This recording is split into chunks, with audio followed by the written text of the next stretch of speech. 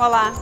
Os últimos dias de primavera vão ser marcados por pancadas de chuva localmente fortes, sol, temperatura elevada e chance de descargas elétricas, ou seja, muitos raios. No Vale dos Sinos, a temperatura vai variar de 13 a 29 graus neste fim de semana. O tempo fechado deve predominar no sábado. No domingo, pode ter algumas aberturas de sol. A situação é praticamente a mesma no Paranhana. Pancadas fortes de chuva no sábado e possibilidade de sol no domingo.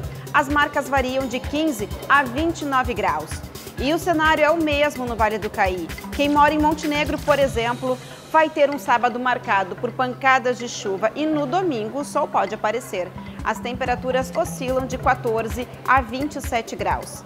Em Gramado, chuva localmente forte no sábado e possibilidade de sol no domingo. Na região das Hortênsias, as marcas variam de 10 a 22 graus.